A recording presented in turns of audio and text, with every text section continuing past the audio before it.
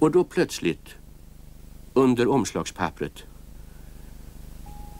syntes en blixtrande glimt av guld. Kalles hjärta fastnade i halsgropen. Nej, det, det, det, det, det, det, det är en gyllene biljett!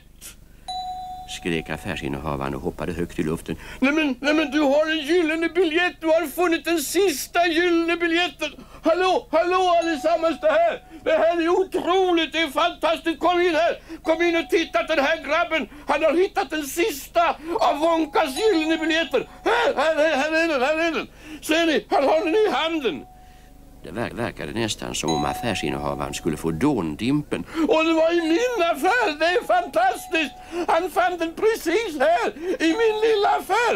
Att någon måste ringa till tidningarna och låta dem få veta. Men du, du grabben, akta dig nu grabben. Riv nu inte sönder den när du tar resten av pappret förstår du. För den där biljetten den är värdefull.